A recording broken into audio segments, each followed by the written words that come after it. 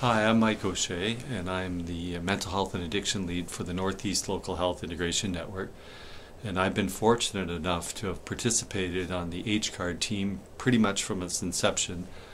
Um, this is a, a, a, tremendous collaborative process with um, researchers, uh, knowledge users, knowledge experts uh, in the field of developmental services um, and primary care. And um, it, it, was a, a, great opportunity to uh, share ideas, uh, share expertise, um, and, and work in a really collaborative nature. Uh, one of the things I'm particularly proud of is the work that the HCARDD team uh, put into the development of the ICES uh, Atlas on primary care and adults with developmental disabilities in Ontario. This is a, a a tool that can be utilized by um, uh, planners uh, in health and social services. Um, and so it, it really is a practical tool. My name is David Carter Whitney. I, for seven years, I was the Assistant Deputy Minister of Social Policy Development at the Ministry of Community and Social Services. We do a lot of work as a ministry with people with disabilities. And I would say that we're exposed from time to time to health research. Often, health research seems quite isolated from the social services sector. It treats people's interactions with their primary care physicians and the hospital sector or whatever. But it doesn't necessarily look at the context in which they, they are making their decisions and why they are there and what supports have led them to be there. As the Ministry of Community and Social Services, we're providing income supports, we're providing various uh, supports around people's behavioral, medical, employment needs, a whole lot of things that are that that interact with the health system, but isn't specifically health. And it, this this project did a really amazing job of bringing those two systems together, of letting us see what are some of the health impacts of the supports that we provide, what challenges do we need to consider uh, and try to address in the way that we're structuring supports for individuals. And how do we help push on the health system to do better as well for a population that, against the overall population of Ontario, is really small, and yet they're a big user of health services. Right. The the team engaged us really early, right from the very outset. And again, as I mentioned, often health research comes to us and it's done, mm-hmm. and it may or may not feel very relevant to us. What this project did was it was actually the first time that we'd really married data about individuals who had, uh, who had uh, low income, they were on Ontario Disability Support Program, ODSP, uh, with health data.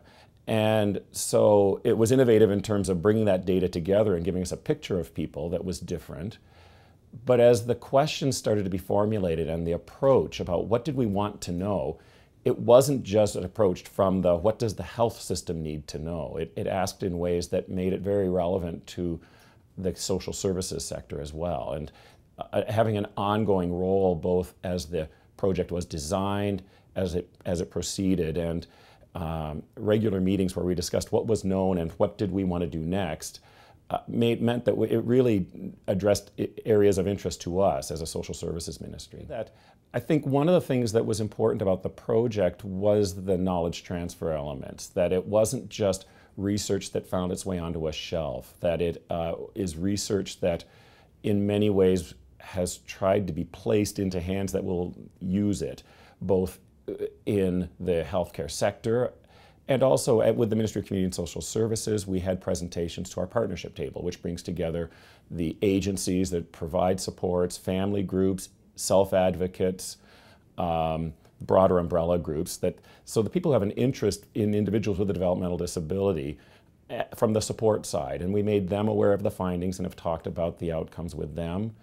Um, and it, it, I think it really validated their own experiences that there are challenges. Healthcare access and outcomes are really problematic for these individuals. So again, the the it, it engendered a whole different discussion with that group, uh, which was really helpful.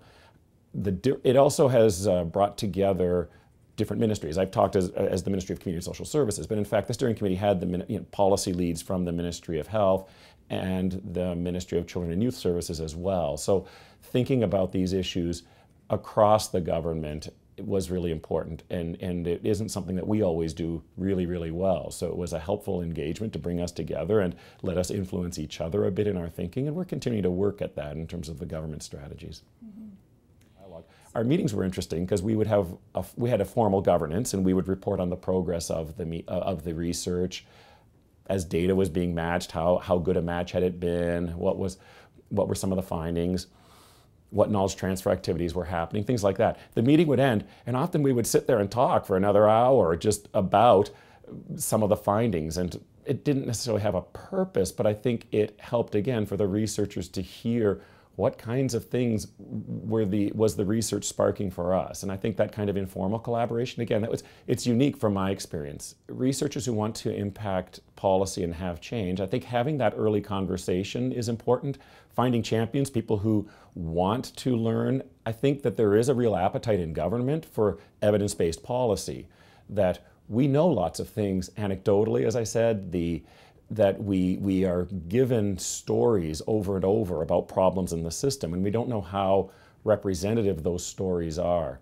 And that becomes particularly problematic, again, for a population of 66,000 in, a pop, in an overall population of over 12 million. It's the needle in the haystack, right? So having evidence to inform policymakers within government is really important.